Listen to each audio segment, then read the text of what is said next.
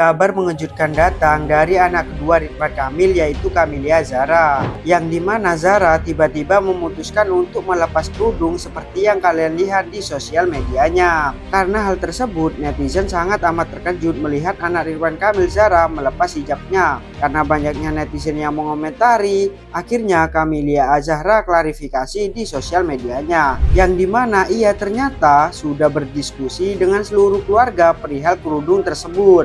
Dan dan akhirnya setelah diskusi tersebut ia memutuskan untuk melepas hijab karena ia ingin berkerudung tidak gara-gara permintaan orang lain atau netizen. Ia ingin berkerudung dengan keyakinan Zara sendiri.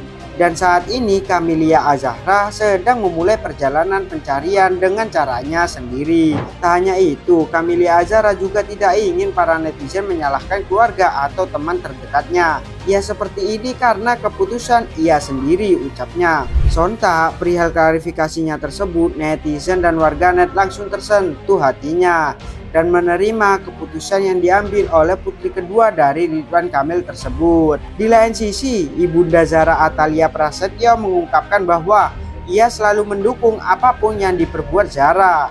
Ia juga mendoakan semoga Allah senantiasa menjaganya dan segera memberikan petunjuk kepadanya. Ucap Atalia Ibunda Zara di Instagram pribadinya. Isa Kamilia Azara mengajarkan tentang pentingnya memilih jalan hidup dengan keyakinan sendiri bukan karena tekanan dari orang lain. Dukungan keluarga dan masyarakat dalam menghormati keputusannya menunjukkan pentingnya memahami dan menghargai perbedaan. Semoga Kamilia Azhara dan keluarganya selalu mendapatkan petunjuk dan diberkahan dari Allah dalam setiap langkahnya.